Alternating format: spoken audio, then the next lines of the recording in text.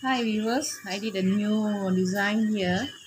A balloon clay air dry clay with a uh, with a um, string. You can use uh, any uh, kind of uh, thread or string or anything. First of all first purpose is uh, paper holder. You can clip paper to mark your book like this as a book marker as a paper marker and you can keep multi papers here. You can keep here you can keep here you can keep here. Okay then another great function of this is okay.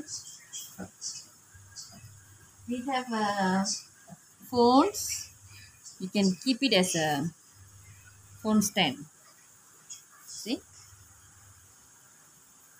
Keep it as a phone stand so it's a multi-purpose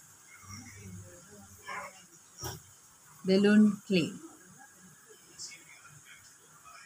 Please subscribe and like my channel. Thank you. Bye